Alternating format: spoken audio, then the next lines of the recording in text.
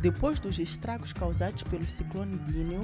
dentre os quais a destruição de instituições públicas, o governo de Inhambane vai erguer cerca de 100 tendas de escolas nos distritos de Machis e Omuine para garantir o prosseguimento normal das aulas e minimizar o sofrimento dos mais de 10 mil alunos que neste momento estão expostos ao sol e ao vento, avançou a diretora de Educação e Desenvolvimento Humano da província de Inhambane, Josefina Comé.